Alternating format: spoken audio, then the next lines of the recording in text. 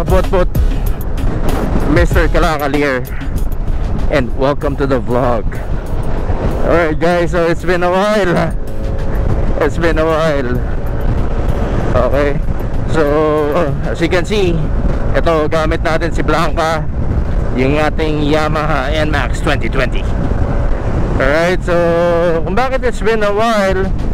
Well, for the past few weeks medyo I've been preoccupied with uh, some stuffs. So for today's episode is uh, I'm gonna talk about yung aking 5 month experience dito sa ating Yamaha NMAX 2020 okay?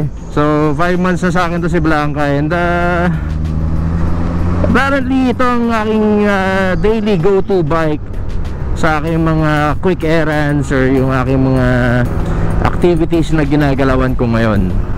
Okay? What's happening? Asbu. Okay? Meron tayong pinagkakabalahan. Itong mga nakalipas na buwan. It's a uh, it's a, a process in the making.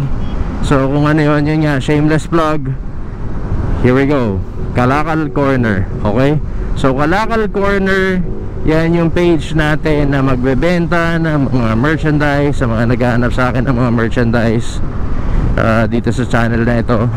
I'll be providing merchandise uh, for your different requirement.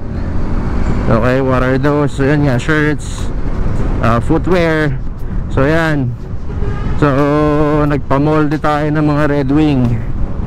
Okay so I'm a fan of the Red Wing uh, shoes dahil uh, uh, mas uh, bet ko siya in terms of yun nga yung uh, maasahan ko. Parang secure na secure yung paa ko ayan no parang secure na secure yung paa mo. Dahil nga uh, sa ibang bansa it's a ano eh it's a uh, safety shoe sa ano suot gamit to ng mga workers uh, abroad. Okay?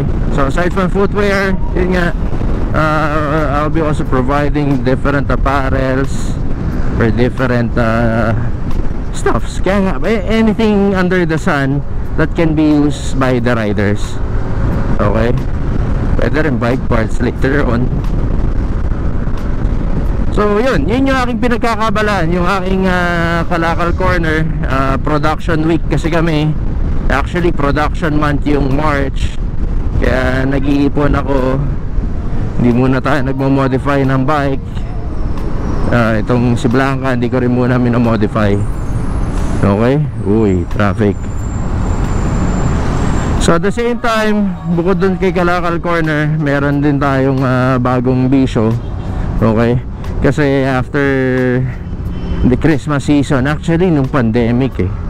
Uh, pre-pandemic uh, pre pre-COVID uh, ang timbang ko lang noon was only 65 68 but now I weigh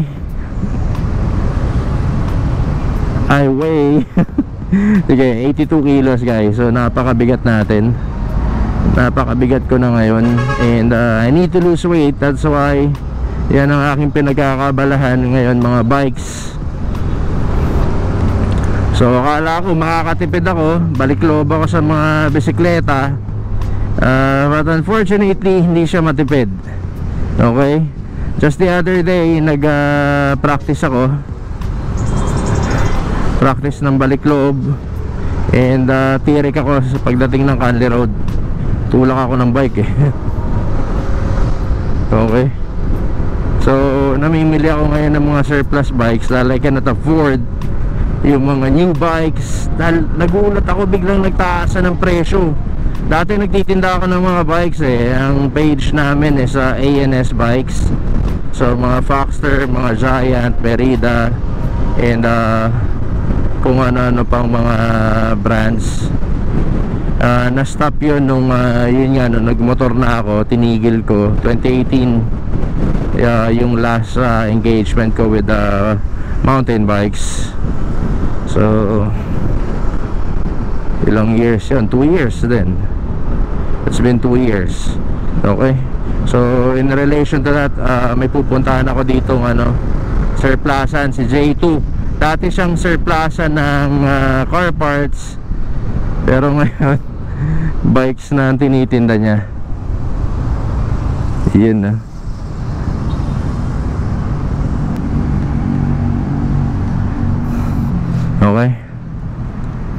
so tingin na rin tayo ng mga paninda dito.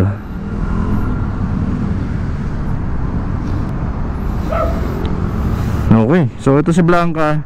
So J2 is along Marcos Highway.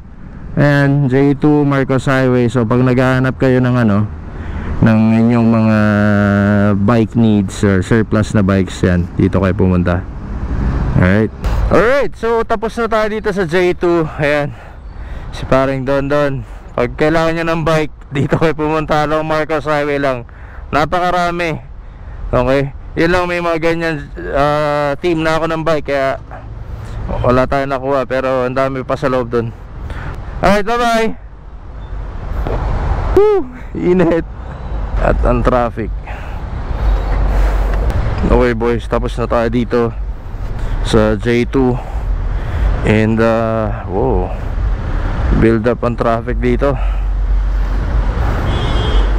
So back to our topic guys. Yung aking 5 months uh, relationship with Blanca. Um, so far uh, okay na siya. If you will recall yung last time na uh, video ko about Blanca yun nga yung dragging issues eh apparently nawala na yung kanyang ganon. Wait lang ha baka traffic eh.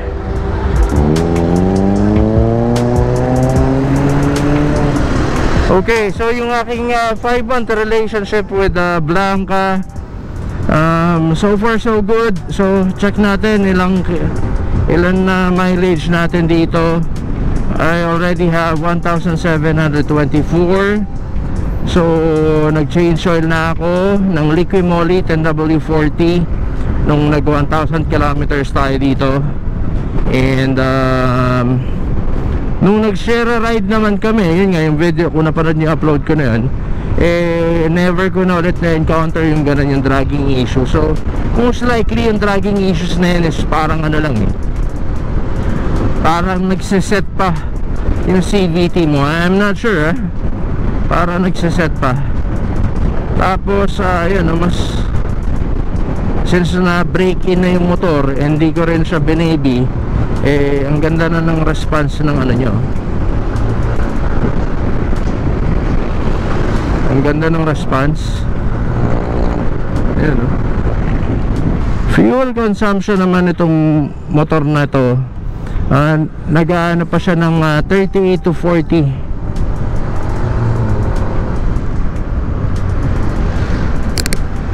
nagta 38 to 40 pa siya.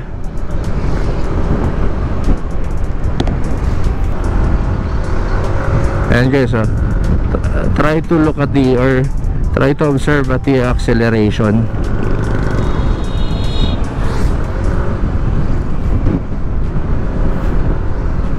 So far okay pa din siya.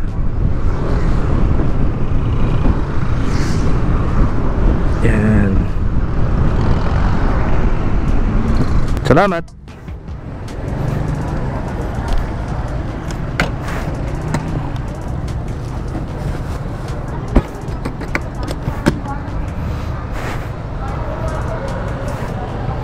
Okay tapos na tayo bumili ng pagkain ni Grizzly. Yung ating bag. Dahil naman tayo sa skulahan ako Charis. Dahil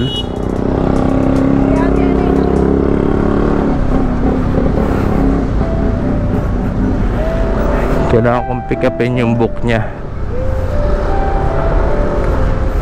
Alright boys, so nag-stop lang tayo dito sa Kerger sa may Katipunan Street. So yan, dito tayo nagpapagawa din ng mga pipe Pagka may mga kailangan tayo pakabit sa kotse at sa motor.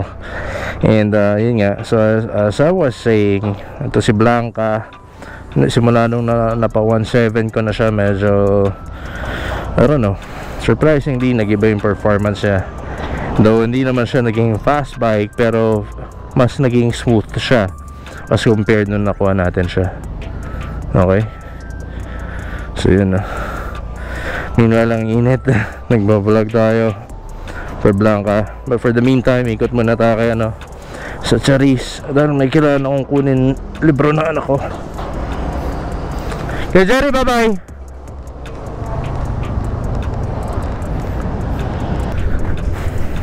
Welcome to Cherry School.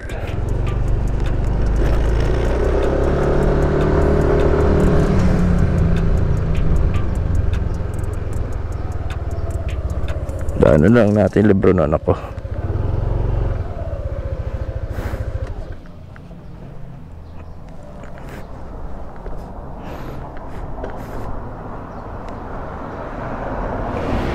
Alright boys, so touchdown parking na tayo and uh, yun nga, pakita ko na sa inyo si Blanca yung update Ayan. This is Blanca. So, apparently, 1,700 kilometers na yung odometer niya. And um, so far, wala pa tayo nagiging problema. Okay? So, yun lang naman yung kanyang mga upgrades. Kung ano pa rin yung napanood nyo, walang bagong naidagdag. Dahil ako'y nag-iipon at nagtitipid. Dahil yun nga, matindi yung pandemic. Yan o. So, there's the carbon fender, carbon panels, dito sa side, visor, yan yung mga maliliit na carbon, and yung sa tail light na carbon. Okay? So, tires also naka big biggie size na to, maxis na oversize, one size up tayo. Likod is 140, harap is 120. Okay? So, there you go. So yan lang yung update natin dito sa ating NMAX 2020 na si Blanca. So sana na-enjoy nyo itong video na to. And um, yun. Ito na. Ito na si Felicia. Kukunin na. Okay? Sigasuhin ko lang. Ciao. Okay guys, so wala na, tayo nagpaalam na kay Felicia and uh, yeah, kaya remove yung parking space natin. But it's the same Blanca is still here. Yung ating NMAX 2020 ER6N si Sasha yung pinagpapatungan niyang camera. And yung nandun si Basha yung si Classic 250 natin. Okay? So future plans with the bike um, yung RB6 lang na mags then the CVT then pero matagal pa yan dahil mag-iipon pa tayo okay? So bueno mga kapotpot. I guess I'll be ending the vlog from here. And once again this is your boy Mr. Kalakal now signing off. Ciao. Whee! so good night everyone. Ride safe. God bless palagi. Peace. Abush good night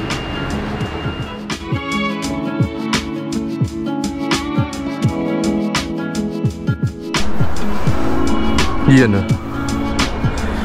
Bye Felicia. Paalam.